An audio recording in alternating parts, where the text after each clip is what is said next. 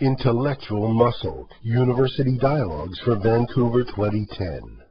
Sport, ethics, and technology. Is high performance sport inconsistent with ideals and ethics? This question is explored by Richard Pound, former Olympic swimmer, McGill Chancellor, and former president of the World Anti-Doping Agency, followed by a panel discussion with Dr. Jim Rupert and Beckie Scott. Delighted to be here, and I, I thank the organizers of this uh, seminar for the opportunity to participate in the sessions. Congratulate you for organizing uh, the seminar, and I hope that the outcomes will be what you hope. The theme of the conference is particularly interesting, since, uh, at least in my view, that the concepts of sport, ethics, and technology are inextricably linked. We start with sport. Sport is an activity governed by rules agreed to by all of the participants. The rules are the essence of sport, without which sport would not and cannot exist. The rules define the activity or game, its objective, how it is to be accomplished, under what circumstances, with what equipment, and during what period. It is this feature of sport which creates the inseparable link with ethics, which I will address in a few moments. Focus on the rules bears repeating, however, since references to them are often used to blur the distinction between conduct which is acceptable and conduct which is not. We've probably all heard someone say that such and such a rule is stupid or unnecessary, or words to that general effect. And that may well be true although there is almost always a reason for the existence of the particular rule. Time may well have passed it by as the sport develops, uh, the equipment changes, and the field of play evolves. If so, then it may be appropriate to change the rule. And in every sport, there is a governance structure which includes rule-making responsibility. It may be a rules committee, an executive committee, a board of directors, or a congress depending upon the level of the competition. Uh, there may also be uh, governmental laws or regulations to be considered. But in one way or another, however, the rules can be changed, and once they're changed, they become applicable to everybody involved in the sport. But, and this is fundamental to the concept of sport, the rules cannot be changed unilaterally by an athlete or team. That is incompatible with the entire notion of sport. Examples of uh, this can be seen in the internal rules adopted within each sport. There are penalties agreed upon by the participant for breaches of the rules. Using ice hockey as an example, if you try to play with seven players instead of six, there's a penalty, and you're forced to play with five players for a certain time. The same is true for improper contact, boarding, high sticking, charging, interference, tripping, and so forth the offending player and his or her team is penalized, and the sought for advantage is turned into a disadvantage. Serious offenses result in longer penalties, penalty shots, ejection from the game, and perhaps suspension or even expulsion from the sport. It's even possible for criminal sanctions to be applied in extreme cases by the public authorities. Most sports attempt to be self-regulating and autonomous, even while recognizing that they occur within an overall societal context which provides its own overlay on all activity within society.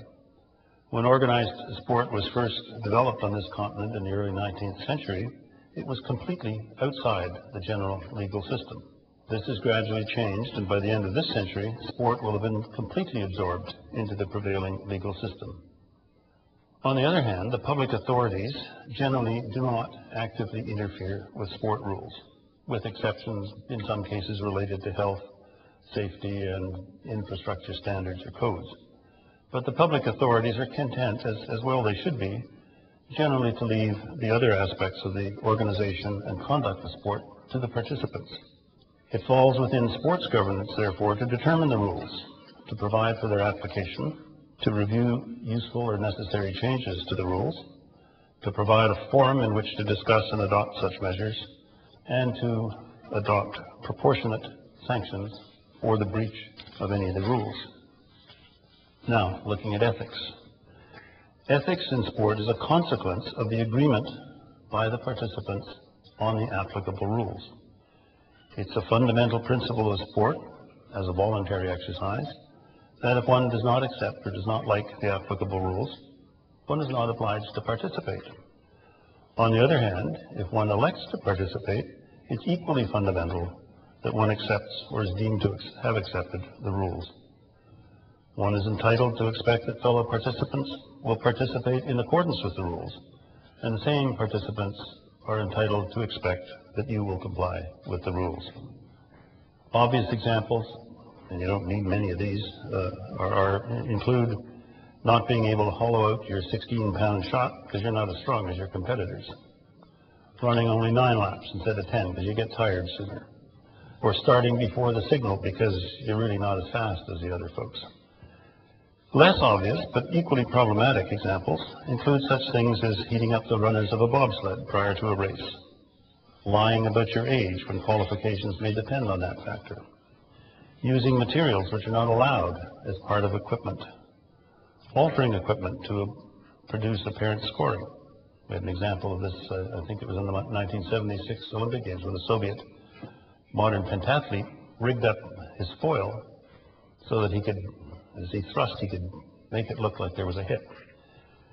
A relatively recent rule in almost all sports is a prohibition against the use of certain performance-enhancing drugs or methods. It's a rule which initially grew out of a concern for the health of athletes, since many were ingesting dangerous, practically industrial quantities of the substances, or were engaged in practices that carried with them serious dangers of infection and even death. Uh, there was a, a, Danish cyclist that died during the games I attended in, in, Rome in 1960, the first known Olympic death.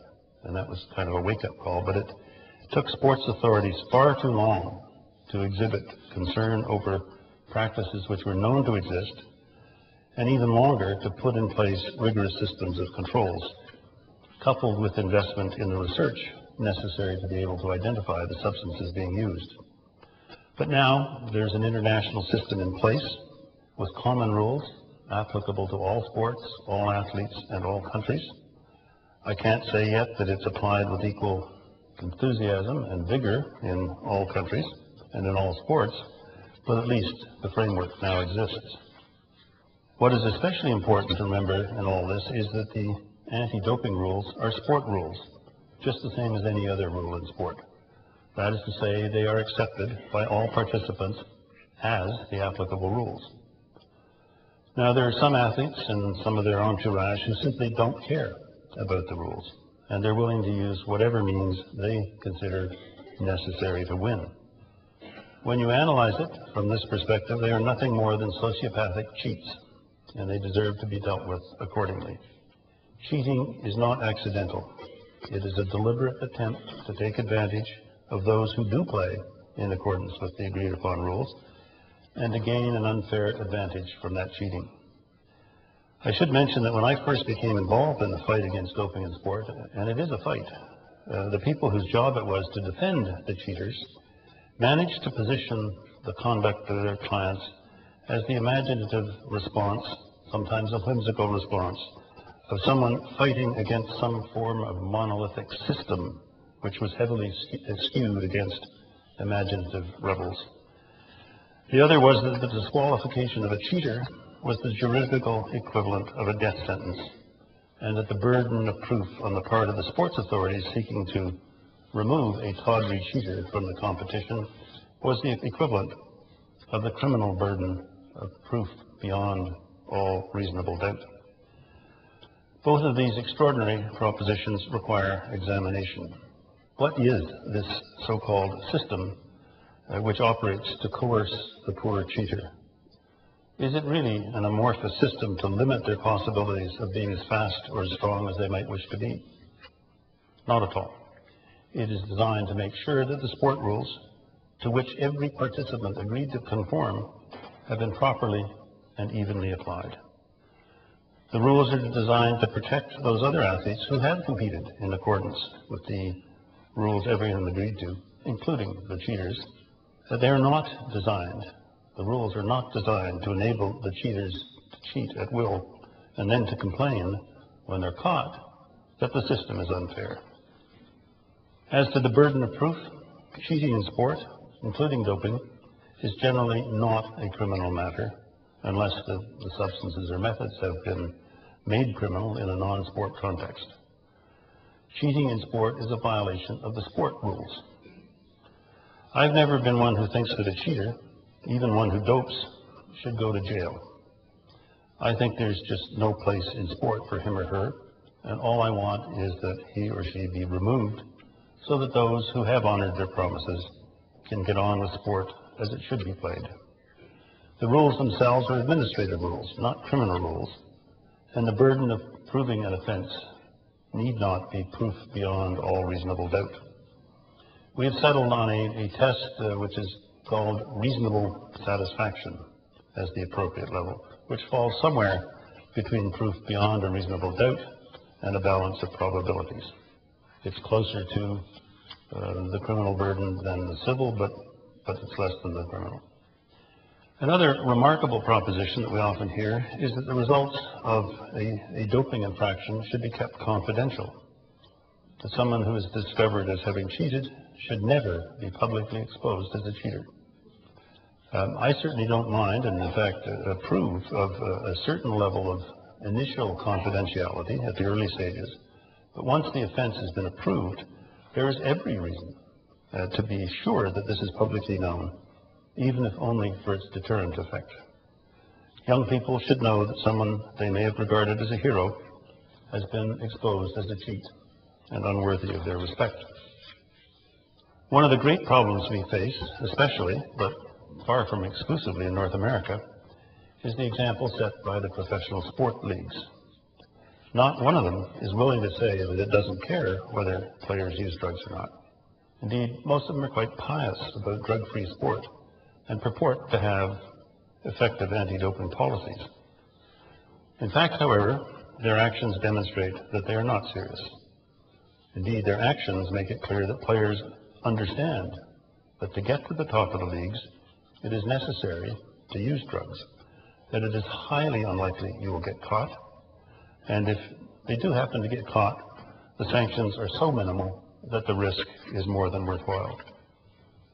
As an example, a good program of anabolic steroids will produce performance benefits to an athlete lasting four to five years. In the Olympic movement, getting caught means a sanction of at least two and up to four years. In Major League Baseball, it is less than a third of a season. In the NFL, the gap between what is said and what is done is even greater. A positive test results in a four-game suspension, and there are complaints from the players that it should only be two games. This is practically an invitation to cheat. Of course, here at home, we set an even worse example. The CFL does not even allow its players to be tested. The revelations seeping out from Major League Baseball make it clear that it's not just the journeyman players who are using drugs, but the stars. McGwire, Sosa, Rodriguez, Clemens, Bonds, Ortiz, goes on and on. The main efforts of Major League Baseball seem not to be directed at how to deal with the problem, but how to prevent the public from knowing how rotten things have become. Some of you may recall a recent incident when I tangled with organized religion in Canada, namely the National Hockey League. I suggested that perhaps up to 30% of the National League hockey players might be using performance-enhancing drugs. Well, what a hornet's nest that stirred up. Pundits said that I had no basis for saying that because there were no test results to back it up. That part was certainly true. There were no test results because the NHL would not allow its players to be tested. They actually said, believe it or not, that there was no reason to have tests in the NHL because hockey players didn't use performance-enhancing drugs. Duh. Their, the league media spinners tried to pitch their response by saying that I had said that 30% of the players use steroids, which is not what I said. I had referred to all of the drugs, including stimulants, which are, if I may be so bold, notorious in hockey. I was amused that a couple of weeks ago, uh, one of the, the Russian players uh, in the NHL, I think it was Ovechkin, but I'm not sure, He was interviewed on a television show about uh, the excitement of playing a game in Montreal. Uh, he said Montreal was always a special place to play and that for games in Montreal, you didn't even have to use Red Bull. Well, what, what the players do to themselves with the drugs they take is one thing. Uh, another, more insidious outcome is the example and the message sent to young athletes. The stars do it. They are stars. No one cares. So if I want to be a star myself, this is what I have to do. And this is a message that trickles down through the leagues and down to kids in high school. It's an outrageous abdication of responsibility by the professional leagues. It's not just the leagues themselves, the, you know, the, the owners and so on that are at fault. The players are equally guilty, and the players' associations are a huge part of the problem, fighting every advance in the efforts to produce drug-free sport. From an ethical perspective, I believe that doping is the single greatest threat to the integrity and future of sport. No one should have to become a chemical stockpile in order to be successful in sport, simply because there are sociopaths who have no respect for the rules which they accepted for the game or for their opponents. Look what's happening to the professional entertainment sports. No one cares, even though they should, but no one cares what the professional gladiators do to prepare themselves. Lip service is paid to drug-free sport, but nothing effective is done to put teeth into the rules. Look at baseball. Look at football. Look at hockey. Look at basketball. Is what you see real competition in accordance with the rules? As the ethical standards within these sports decline, we see that it spreads into further corruption, such as betting and match fixing, and these have increased dramatically. Uh, for those of you with a, an historical bent, you may recall that in the late 19th and early 20th centuries, some very popular sports simply disappeared when the public lost confidence in the integrity of the competitions. It could happen in this century as well. I regard the gender issue as a subset of ethics, and, and I have been since I became a, a member of the International Olympic Committee, someone who has always promoted the participation of women in the Games, but also in the administration of sport. It's no coincidence that Canada has been a leader in this, and that Canada had one of the early female IOC members, an early Canadian Olympic Committee president, and several chefs de mission of our Olympic and Pan American Games teams, including the current chef de mission, Nathalie Lambert. The only two Canadian athlete members of the International Olympic Committee have been women. And I think the progress over the years has been significant, although it's very clear that more work remains to be done. The approaches to achieving gender parity are not without complexity, and they need to be strategic at this stage. In the recent controversy regarding women's ski jumping at the forthcoming Games, I believe there was a lack of strategic thinking which resulted in adopting a confrontational approach, which never, trust me as a lawyer, it never had any chance of success. And it risked setting back progression towards Olympic inclusion back rather than forward. I hope that its proponents have learned from the experience and will direct their efforts in a more productive fashion in future. The base from which they must build is within their own sport, not the Canadian courts. Technology. Competitive sport, as opposed to mere recreational sport, involves frontiers, the effort to extend human performance beyond what has ever been achieved to date. When I talk about technology here, I, I, include the application of the scientific method or endeavor in all its forms, not simply mechanical uh, devices or equipment. So this includes technique, strategy, physical conditioning, equipment, field of play improvements, nutrition, counseling, competition, biomechanics, and sports medicine. And I must say that generally I favor the application of technology in sport, so long as technology adds to the human physical performance and does not replace or minimize it. Uh, the addition, for example, of safety features is, is always to, to be encouraged and welcome. Physical conditioning and sports medicine minimize injuries and speed recoveries. Developing a positive mental attitude improves sport performance. Since often, and those of you who have been athletes will know, since often the greatest barriers are self-created. Fear of winning can be as large a hurdle as fear of losing. But as, as in all things related to sport, technology can also get out of hand. Uh, I must say, as, as an example here, my former sport, swimming, provides a case in point with the ultra high-tech swimsuits that have emerged in the past couple of years. Uh, they cost a fortune, they change the resistance of the body to water, and they actually alter the body shapes of those who can afford to buy them and who can manage to get into them. Uh, the resulting performances, as we know and have seen, uh, have distorted the records, and the International Federation has finally stepped in to try and mitigate the damage and to ban the suits. Proper assessment of the likely results might have prevented the problem, but the Federation persisted in the face of clear evidence to the contrary for, a number of years in saying that there were no untoward effects from the use of the suits. There is life after competition. Uh, it would be wrong to leave the impression, and I don't want to do so, that sports and those involved in it are not fine examples for others to emulate. Uh, I've talked so far about some of the risks that have to be managed, and I've identified some of the, the normal human frailties which are a fact of life and, and which can have negative impacts on sport. But the overwhelming majority of athletes benefit enormously from their participation in sport.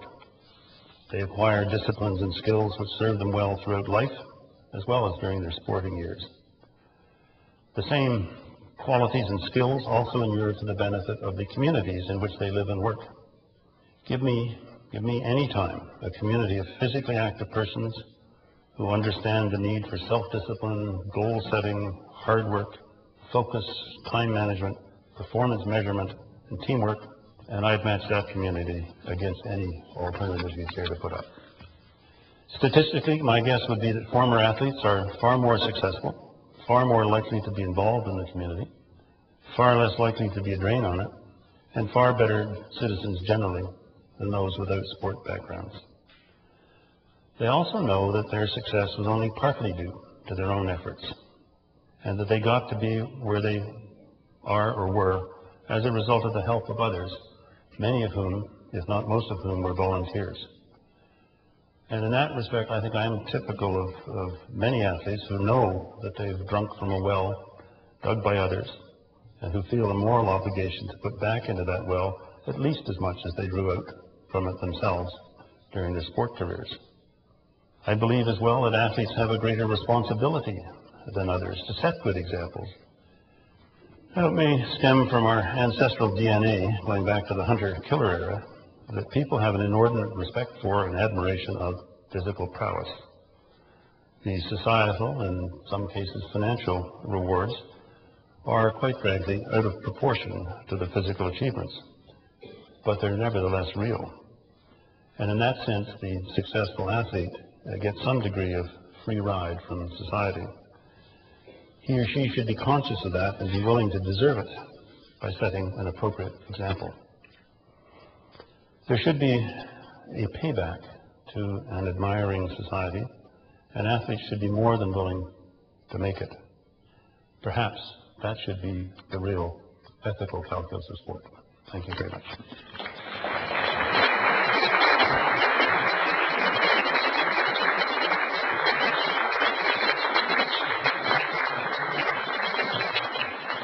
Dick, I wanted to start on one of the points that you raised that sort of got me when you mentioned it. I never quite thought about this. I've heard you compare uh, the uh, anti-doping legislation for Olympic athletes and for uh, the work, the type of work that you've done to some of the professional sports. You mentioned our Canadian Football League. You mentioned the eye closing that occurs in NHL. Do you think one of the reasons why this is such an important area is that people look at Olympic athletes in a different way than they look at professional athletes, that Olympic athletes have to be beyond reproach? Is it because of the code that we expect? Is there something to that? I, I think the great thing about the Olympics, and we have differentiated the brand, if you like, from the, the entertainment sport brand, is that they, they want the, the, Olympics to work out. People want that to happen, and, and they're inordinately disappointed if there's a, a positive doping case at the Olympics. They don't care. About these professional sports. They should, I mean, because every one of these players is somebody's kid, somebody's neighbor. But, uh, but there's a differentiation. They, they want the Olympics to work, and, and it's a disappointment if somebody cheats at the Olympics. Right, so it is a, a higher ideal of, of some sort that we, that we expect. Yes, it's, it's more than just entertainment. It's, it's the whole aspirational quality of, of, you know, being out and competing in this once in a lifetime, sometimes twice in a lifetime chance of, of meeting the best athletes from everywhere in the world and seeing how you measure up. Right, interesting. So Beckie, when, when you hear this and you hear Dick talk and all the work that he's done over the years uh, in, in the, uh, the World Anti-Doping Agency, and you're competing, and you've got many other people in the race with you, and you know that some of them, some of them might be cheating. Maybe some people that you might know, uh, you know, as friends or you thought were friends of yours. What goes on in your mind? I mean, you're trying to compete at the highest level. You're trying to win a medal for Canada. And yet you know that it might not be an equal playing field. How do you feel psychologically or even athletically, you know, during that period? Uh, I think uh, there's a, a very profound level of frustration. I mean, a deep level of frustration. And I mean, I think to to draw an analysis or to, to make a, an equivalent scenario, it would be, you know, lining up at the start line of a 400 meter race around the track uh, with 10 other competitors, starting the race, trying your hardest, knowing you've trained and prepared and done everything you could, and watching two or three of them cut across the field and finish way ahead of you because they took a shortcut. And watching the officials turn their, having missed it or, or not, uh, not looking, not having seen it. So you finish your race and you're out of the medals and you're not a contender. You've been humiliated by the, by the, um, I mean, the, length of the distance that you were beaten by, and nobody said a word because nobody saw it. And, uh, and that to go back and do that again and again and again, and uh, you know, to come from my personal experience, you know, I had dreamt of be- being in the Olympics since I was five years old, and I did everything I could my whole life to towards that goal. It was a singular focus. And when I got to the international stage, you know, I heard the rumors and and the talking, you know, and then gradually, every now and then, a revelation would come out, and, and the biggest one, I think, for our sport was in 2001 at the World Championships when, you know, the whole Finnish team just was positive. Um, and it was just this, it's just, it's an unbelievably frustrating place to be, to know that you're doing everything you can, but you will only get to a certain level because you will always be circumvented by people who are cheating. hmm And yet you still, you still were true to your spirit of, of not, not cheating. Uh, yeah, I mean, for me, there was never an option or never a question of how I would go about doing it.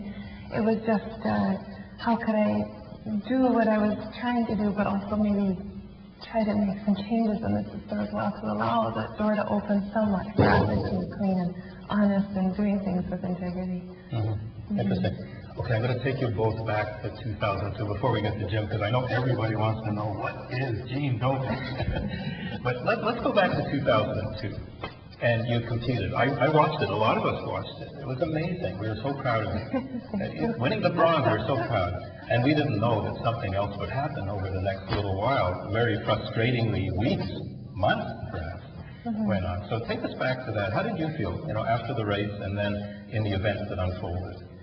Well, I mean, immediately after the race, I was overjoyed. You know, it was a bronze medal for Canada. It was the first medal ever in the history of our sport. I think we were optimistic it might happen, but nobody was, you know, thinking for sure it's going to happen. So it was, a, you know, it was putting together the perfect race on the perfect day and having everything mm-hmm. happen the way it should or could, and crossing the finish line first, you know, by a, a less than a tenth of a second against the woman who was fourth with me. You know, the, the first two were were away. not even a factor, and well, we know why. Um, but but so for myself, you know, like it, when I every now and then I, I catch a replay of the video of the, the medal ceremony, you know, and and uh, I mean it was it was the highlight of my life at that point. I couldn't have been happier, and our whole team and our contingent we celebrated that like it was platinum. I mean, it was just ex- it was an extraordinary moment.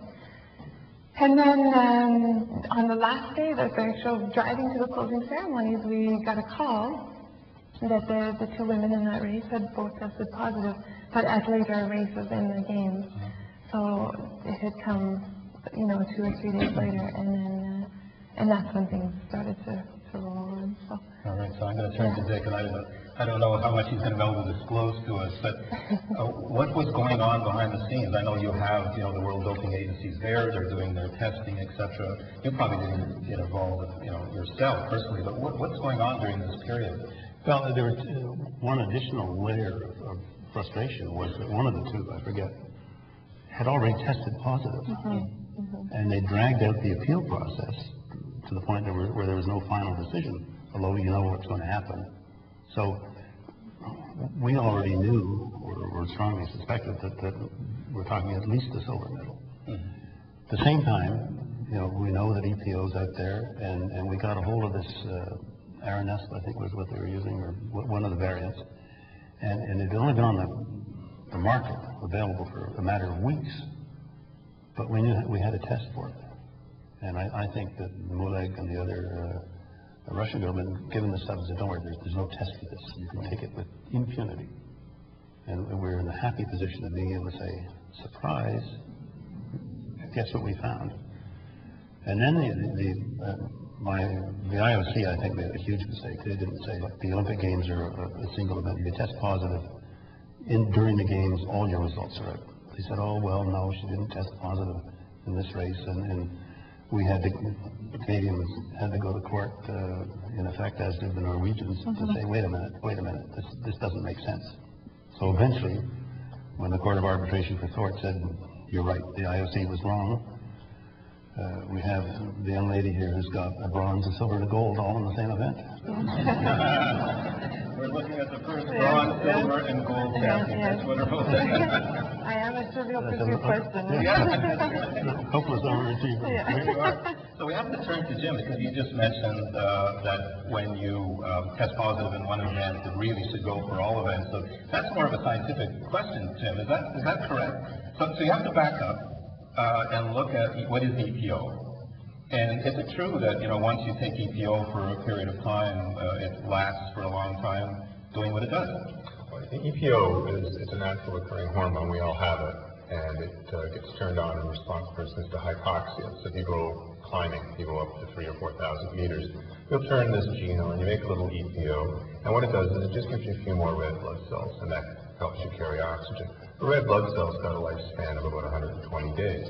So once you've taken the EPO, you get these extra red blood cells. It takes about six days for the cells to mature. And then you just up your oxygen carrying capacity. And in a sport like yours, a couple of a couple of tiny sub percentage points of oxygen carrying capacity can be the difference between being, like you said, way up front or very, very close. And that drug, um, I often use this whole story as an example of how rapidly these drugs and technologies spread among the athletes, even though they've never gone through any kind of testing to show that they would actually work. They just spread like wildfire, and that's one of the reasons there's a lot of interest in new in new technologies. But EPO is essentially is once you've taken it, um, it'll work for probably work for a couple of months. Now, there are differences, uh, I suspect, between EPO people who live, say, where Beckie lives, uh, you lived in Alberta, right? You were training in, in, in Alberta uh, for in 2000, so you're, still, you're living there now, too, aren't you? Uh, versus somebody, say, a, a biker that trains up in the mountains. What you're saying is that when you take it for these purposes, it's a very different level that will be achieved. Well, the challenge in detecting anything that's naturally produced in the body is that there are huge variations between people. Um, it's true for EPO, it's true for testosterone, it's true for the natural occurring steroids. And one of the problems in just using some kind of arbitrary threshold is that athletes, no offense, athletes are not in the middle of the normal curve. They're way out It's a curve. here, where the rest of us usually are not to be found. So if you if you look at it, if you're trying to establish something based on a natural uh, level, it's likely not really going to be seen in the athlete. So what you have to look for is something that's different, something that doesn't reflect a natural uh, situation. So the synthetic erythropoietin, or synthetic EPO that they use, which sometimes you'll see called recombinant uh, human EPO because it's been made initially through genetic manipulation in cells, is subtly different from erythropoietin that actually exists in your body. It's that subtle difference that the test is based on. And one of, uh, I think, perhaps one of the shocks to the athletes who are taking the, this new derivative is uh, one bit of an edge you have in doping control is that the more you manipulate the hormone to make it behave differently than the natural hormone, like to make it last longer, uh, to be less toxic, the more different you make it from the natural hormone, and that makes it a little more easy to detect. So I think once they knew that that, that derivative of erythropoietin might be out there, it didn't take them long to come up with a way of, of very definitively saying, well, that's that's it, and that gave them the pleasure of the, uh, no, we have a test. Right, and that was available in 2002. I, I think it had just come on the market in late 2001 or something like that. Right. But one of the things we, we started to do is, is to have better relations with the, with the ethical pharmacists. And and we discussed the molecules they're working with and, Right. and, and the tests and so on. So that, you know, the gap between the perpetrator and, and the ability to detect is, has narrowed considerably. So then the- the other part of the story is, I think, once the EPO was detected and, and the uh, medals were uh, duly awarded, uh, the gold medal was duly awarded to you, I wasn't going to ask you if you had to give back the bronze medal, by the way. I did. You did, okay. Uh, Then what was the response of the community, of of your skiing community? Uh, Oh my God, did they know that EPO was uh, testable? And uh, was there then discussions of the next thing that might be out there? Um, I think one one part of the doping culture is that people don't really talk about it. So even though you know these athletes had tested positive in in 2002, you know there was and once the results of, of all the court of arbitration appeals and everything were revealed, you know I received a lot of congratulations from the community, the international ski community for sure, but but nobody really went so so far as to express any kind of I think more awareness about doping or, or speak out against it, which has been, a, I think, um, an ongoing frustration of mine is that there really is very little um, willingness to talk about it, especially, yeah, at the sport level. But one of the things, going back to what Dick was talking about, which really resonated, was that what we started to hear around that time, 2002, 2003, 2004, and seen from professional athletes, was the major change in body configuration that occurs with some of the doping that was going on, like the anabolic steroids. Uh, I hadn't realized, for example, that your that the cranium grows. You know that, that there are bone changes that occur with anabolic steroids. Barry Bonds' head is almost it's gone up two or three orders of hat size. My father was a haberdasher. I know what that means. um, unbelievable. And what was going on in the playground? You know, at the, at the same time when these young athletes were perhaps toying with the idea as middle linebackers and taking anabolic steroids there seemed to have become an awareness. And then all of a sudden, we start hearing about athletes coming forward saying, yes, we took it, but it was for control of uh, uh, injuries. Uh, there were other excuses. Uh, uh, Mark McGwire just made an incredible speech about the fact that uh, he was in the era of anabolic steroids. Where are we now, Jim, with anabolic steroids? Well, I think there's still a there's still a real problem. I mean, an anabolic steroid is really just a derivative of a natural steroid. It's been modified primarily in the case of of testosterone, just to allow you to take it orally. Because if you take testosterone orally, your liver just breaks it down. So one of the big problems with these drugs is they're quite easy to go in and make subtle changes in. They still work, and this is what Balco did. They still work, but they've never gone through any kind of clinical trial. No one really knows whether they're they're going to really have profound side effects.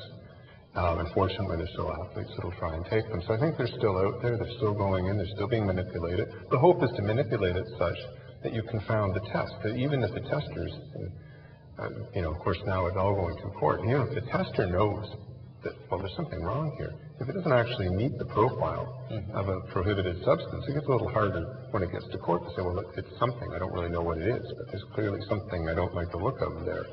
So they start manipulating them, and uh, unfortunately, the athletes start taking them and take usually take too much of them because they're trying to get a very fast Yeah, a little is okay, a lot's probably better. Just like aspirin. Right, yeah. Take as much as you possibly can swallow. true. You know? So again, back to Dick's point, uh, how long before an event do you have to have anabolic steroids to increase your testosterone-like symptoms? Most of these you would take, you take several months in advance because you're trying to put on bulk. And what most of the steroids, is, it's not so much an instant ticket to, to muscle, it just increases your response to training. So you take the steroid and then, and then you would train. Um, so one of the, uh, one of the most famous recent doping examples was Floyd Landis in the Tour de France. And and one of the things people kept saying was, why would he take testosterone the day before the race? It's not going to do anything. But the other problem with testosterone is people will take it as an attempt, some of the steroids will take it as an attempt to, to speed up curing Yeah. or, speed, or repair the muscle damage. So they may be taking it for other reasons. Aggressiveness. I mean, testosterone's got to be one of the most potent uh, hormones in the body for aggression. Apparently, one of the common uses now of testosterone uh, is in, in criminal gangs, and it's partly just to get big and menacing looking, but it's also just to get mean, just to get aggressive and to get that sort of in-your-face belligerence that you know makes you the, the big threat on the street. Hmm. Well, that, that's, that's scary, actually. Here's my wallet. Yeah, here's my wallet, take that. You can have my birth certificate, my identity. Don't do anything else to me. But not my medal. So, what's so interesting is that one of the sports that I don't think you mentioned, Dick, and we haven't talked about it yet tonight, uh, uh, cycling. And uh, over the last many years has been really uh, scarred uh, by uh, lots of doping.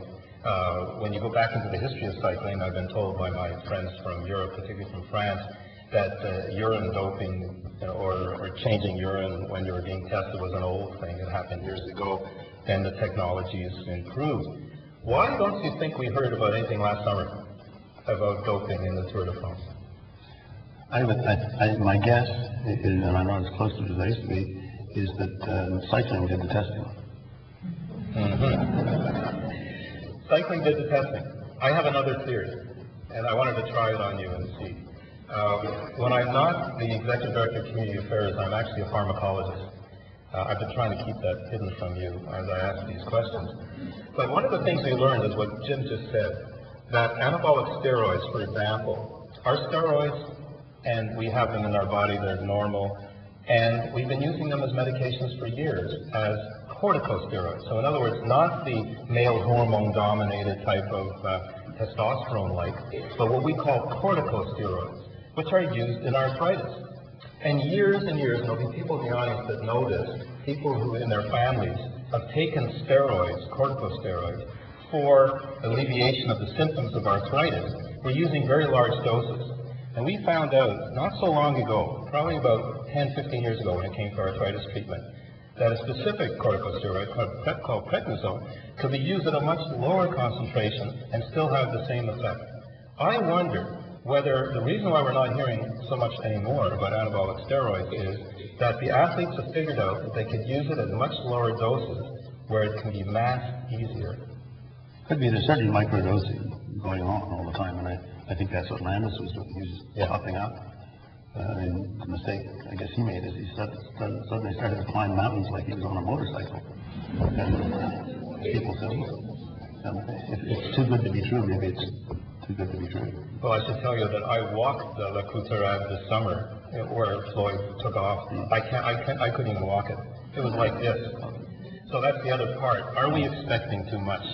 Are we expecting too much? Is that a reason? And I know it's not an explanation, but are some of these achievements going to the point where people think they have to have an edge to, to do well?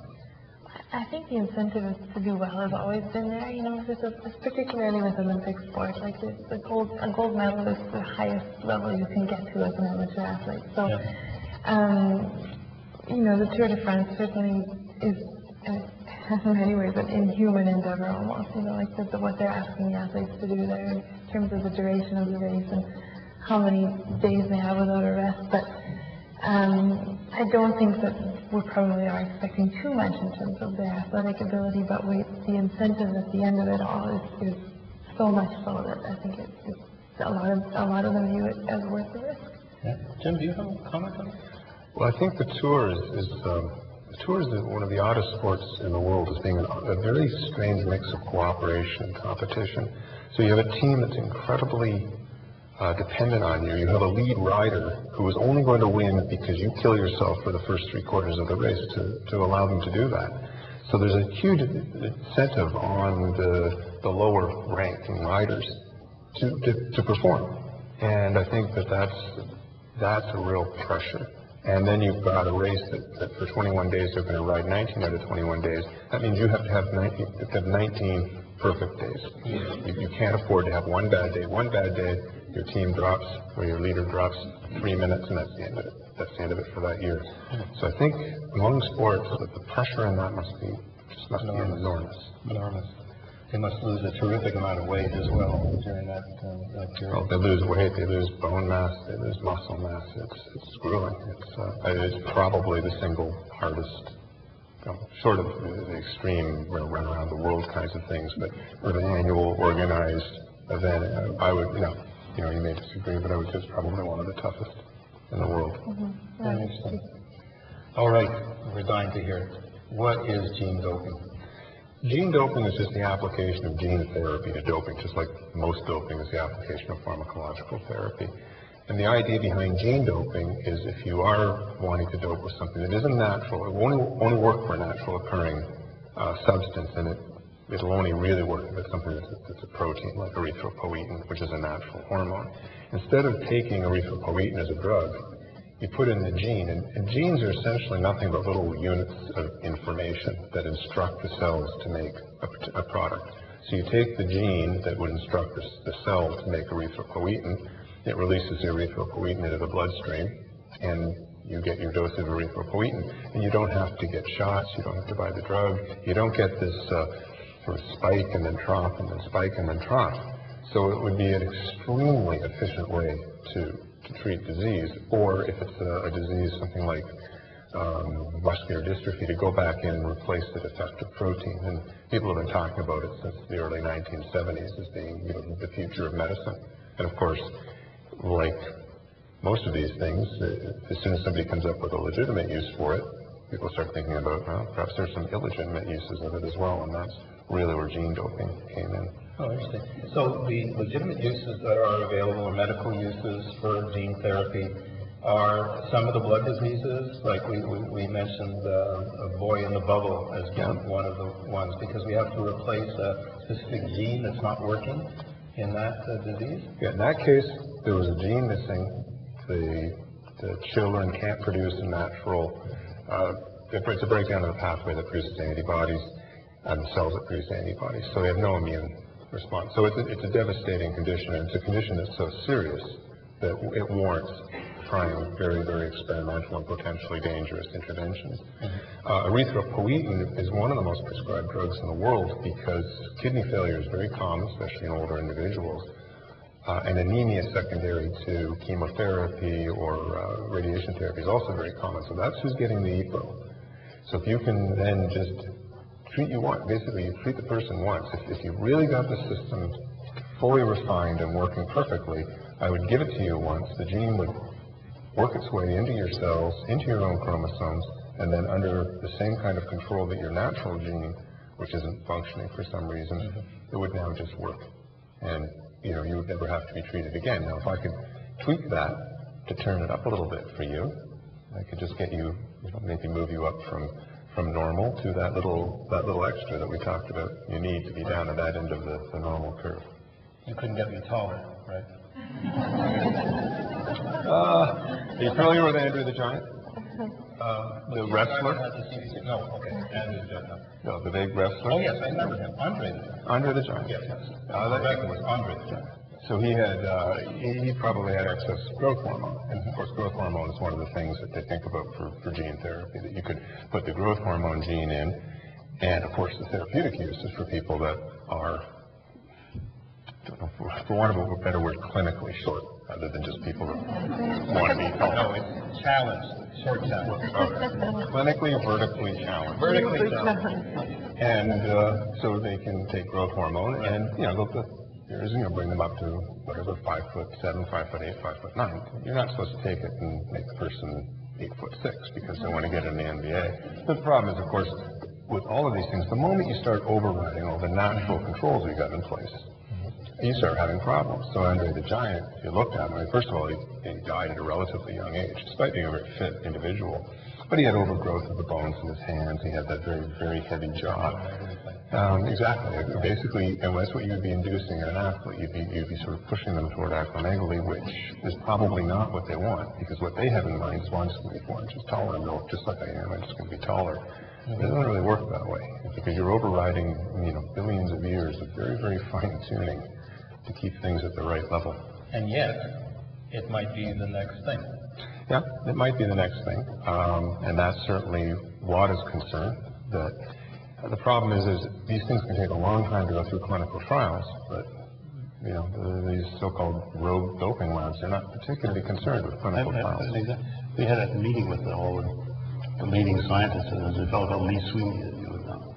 He's the one that, that did some manipulation and got laboratory rats to get fifteen to thirty-five percent extra muscle without exercise. And he said, uh, you know, he said, I, I get my email, email every day. He said, half of it comes from colleagues and friends and so on. He said, the other half comes from people in sport saying, we read this, can, can we try this? We're involved. And he said, listen, do you understand? I'm working in the lab with rats. I have no idea what the morbidity or anything else would be. I mean, that's okay. Yeah, yeah, no, we'll, we'll try it. So how, how close do you think we are?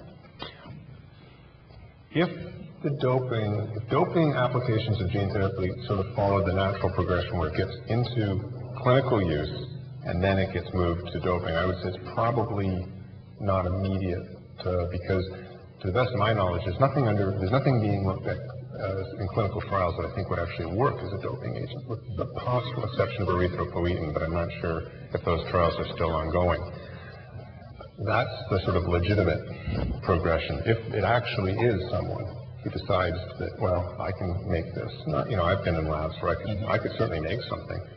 Um, and if I injected it in you, I, I'd get my money up front and then I'd disappear. um, because what I don't have is the capacity to, to purify it to pharmaceutical levels. But you could certainly make something. And, and you know, and Balco certainly exposed the fact that people will make it and athletes will take it just based on the promise that, well, we think it'll work and we think it won't have too many side effects. So if, uh, I would say probably not immediate unless there really is the sort of rogue lab. Right. But it still responds to what Dick was saying, that yes, it might work, yes, it might be a leg up, but it's dangerous. It's going to affect uh, your well-being, your life expectancy possibly, etc. So I guess we have to put it under the same rubric, that it's something that has to be uh, legislated and looked at very, uh, very carefully. It is on, uh, on the list, right? It it is on the list, and, and, uh, you know, some, some of the things that are on the list were put there long before there's a test, as you say. Right. And you- and you have the balance saying, well, if we put it on the list, people will think that it's useful, and therefore they'll, they're more likely to use it. Right. We're saying, look, we should just warn them that it's, that it's dangerous, and, uh, but on the, the Balco stuff, I mean, when Kelly Edwards came to the World Anti-Doping Agency one time and described her stuff, taking the clear. And she said that this stuff went from the lab into a, a human body with nobody having the faintest idea of what the side effects were. And She said she went, she was having two menstrual cycles a month. She was, uh, she had blood pressure that was going through the roof, and she said, look, this is what's happening. I said, "Hmm, take a little less and maybe drink some more water. It's, you could kill people doing this, and with the genetic manipulation, the risks are even higher, I think. Unfortunately, with the genetics, well, depending on the strategy you use, it's, it's a one-way trip. You can't get it back out. It goes in there, it takes that erythropoietin gene, sticks it on, on your chromosomes in every cell. Yes. Now, now that, one thing I should clarify, is it's not going to get, it's not going to get passed on to your offspring. That would be another whole level. That's sure that Beckie doesn't have to worry about it. But, um, but it will, you know, you, you can't get rid of it. And this, this raises a, a real problem with, uh, with how do you, how do you deal with it? If somebody gets caught gene doping, well, they, they permanently improve, if it works, they permanently improve themselves. By doing this, you pretty much have to say, well, you, you're never, you're not capable of not doping. You are permanently doped. And if you can't compete now, you can't compete ever. I wonder though whether this is where the testing is going to become really difficult. Uh, one of the examples I guess I can point out is that I was on a, a group that uh, looked at what to measure uh, with genetically modified organisms, which also is a gene change. It's where specific genes, unlike our hybridized wheat that we fed the world with for so many years, um, gene uh, the, the gene um, genetically modified organisms is one small genetic change that can occur uh, to you know make a plant much more uh, able to withstand drought or to uh, withstand pesticides, etc. And the question that came from people uh, from the food agencies: What are we going to measure? Do we need 20 tons of this stuff in order to, isolate that difference, that little change? So that might be a huge problem, Dick, when it comes to WADA and uh, the testing that must go on. Well, it, it's certainly a challenge, and we've got some of the leading genetic scientists in the world working on it, and, and they think the future is, some kind of a screening test, and, and it's based on Jim has been saying, the homeostasis, it's, it's a pretty complex organism in the body, and, and, and if, you, if you push here, there's going to be something else. Mm-hmm. Uh, that's one thing. The other thing we're trying to do is, is to develop the, the concept of a, of a profile, personal profile. Mm-hmm. Testosterone levels, uh, all these, and, and, and use that baseline, the passport, they're going to call it, uh, as a basis for saying, excuse me, but all of a sudden your hematocrit level's gone from 35, which has been for 10 years, to 55. How do you explain that? Mm. And use that as a, as a it's a means of imposing a sanction. Interesting. So, Beckie, do you see any problems with that, or do you think that that can be something like a profile, which means that they'd have to follow you for a period of probably years rather than months to mm-hmm. make sure that they know who Beckie Scott is? Yeah. No, I, I mean, I, I'm all for it, and I have been supporting it for a long time. The concept has actually been around for a long time. Mm-hmm. And in fact, you know, we had this year, for the first time ever, an athlete convicted on that, on indirect evidence by the use of blood profiling, like watching, you know, different levels spike and go up and down at, you know, big events. And uh, she was handed a two-year sanction, so, you know, I'm all for it. I think it, it is an important, because we know that EPO is, is, is hard to detect. It is easy to get around. It is, mm-hmm. you know, in some of the endurance sports, it's, uh, you know, the drug of choice and not necessarily people just aren't getting caught for it. So what's the next step? It's to look at the indirect evidence and try to convict them on those bases. Interesting. So Jim, do you, do you think it's workable? Oh, I think I think the passport is probably the way to go because it gets away from the fact that threshold values that represent the entire population can be meaningless in an individual. And your sport, you're probably familiar with the Finnish skier Eero Mäntyranta, who skied in the in the 1960s. Well, he had a he had a natural occurring uh, variant in not the gene that makes erythropoietin, but the gene that makes the receptor that erythropoietin acts through. By any measure you would take, he'd be doping. Blood count was really high, um, but that's what he was. You know, his entire life he would have had that high level, and I think it would be unfair to ban him from race uh, from from from competing, and in fact, it might be you know might be a violation of. Uh, genetic discrimination. Mm-hmm. So if you just monitored for his entire life, you would never see a deviation from that, and you would just establish essentially that is what he is. Oh, there's a legal question in terms of that. Uh, this is this is not going to be easy, um, and, and, we're wrestling with it uh, all the time as to what is an appropriate sanction if you find this.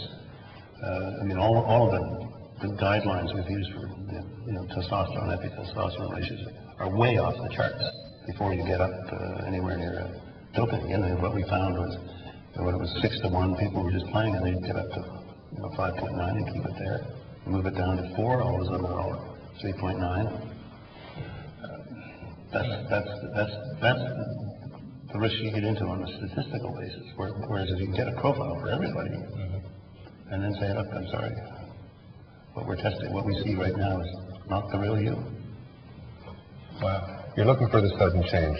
That's, yeah. that's the smoking pistol. It's the, and it can't be accounted for. So if you have a, an increase in your red blood cell count, and then you, well, here's my tickets. I was up to Machu Picchu. I was in Cusco for three weeks.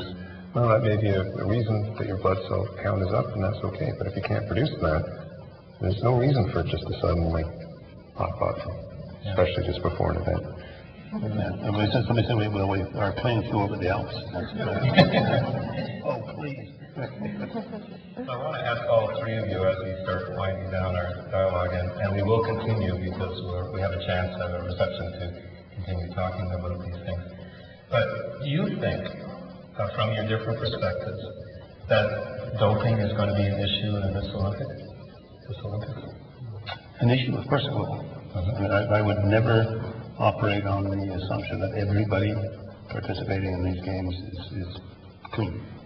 We may not catch them all because, uh, you know, we have, you'd have to catch them during the, uh, the period of preparation, and that's why you need a rigorous uh, competition testing program. But uh, if, if there are any traces here, we have state-of-the-art uh, ability to detect it. All the race day drugs will be detectable.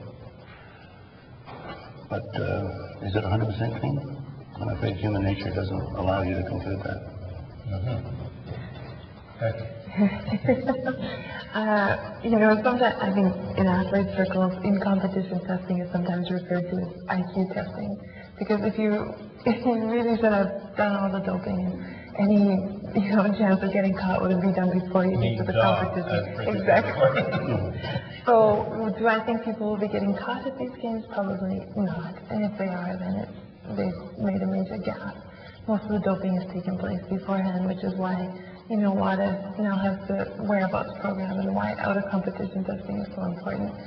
Um, so that's my opinion. Um, whether or not will it'll be a problem here. Most likely not. I don't think we'll see many positive tests. So we'll concentrate on the athletics and not the, Yeah. uh, the news conferences. What do you think, Tim? I think it'll be there, that people will have it sometimes just as an emergency, just as a backup. Um, and I think the testing is now getting very, very good. Um, that's a, a significant disincentive to, to try something unless you really think you, you know, you just, you just, it's going to be nothing. So you'll take the, you know, one last shot, take the risk. But I think, I think Beckie's very much correct. This is all done way in advance and, uh, you know, like your IQ test is perfect because this is not, you know, this isn't just, oh, I'm feeling lousy, I'm just going to stick the needle in my arm. This is very, very carefully thought out, very scientifically engineered for the most part to optimize the results without getting caught. There's a lot of pretty good brains involved in this. There's a lot of money on the line, but uh, I certainly would like to see it. Mm-hmm. Like to see no one get caught and not to think no one got caught simply because they got away with it. One, one footnote, one Olympic footnote, is that we keep the samples now for eight years. Right. And if we find a, a test, for example, that will allow us to go back farther than we normally can for EPO, uh, and we think somebody's uh, probably done that here, we've got the sample for another eight years, and, and the right to sanction them. Mm-hmm. So you may get out of town with the medal, but Making those all catch up. Right. So Dick, you've been involved at the forefront of this area of trying to develop anti-doping, anti-doping, anti-doping methods. The, the anti-doping agency was based in Montreal. I'm sure you, uh, because of your work, and uh, it's uh, not totally, but uh, you know, as a commendation. Um, are you happy with where we are? Uh, are you, when you look back, uh, do you, do you think that we are where you want it to be, or are there ways to go yet? I'm happier. I don't think we're, we're there yet. I, one of the things that I try to do is to get in the face of people and, and, and make it clear that there was a lot of this stuff going on and that there hadn't been meaningful response and that there would have to be a meaningful response. And, and I don't think that doping's going to go away if we all hold hands and go, um, I think you've got to confront cheaters. It's, it's a planned and deliberate exercise, as, as Jim has just mentioned. It, it has to be confrontational and educational. Mm-hmm. In the long run, that's the answer. You've got to persuade people not to do it and, and let them know that if, if somebody does it, you'll catch them.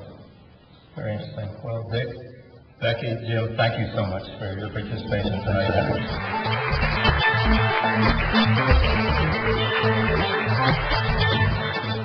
Sport and Society was produced by the University of British Columbia and recorded live at the UBC Chan Center for the Performing Arts. Intellectual Muscle was developed by Vancouver 2010 and the University of British Columbia in collaboration with universities across Canada and the Globe and Mail.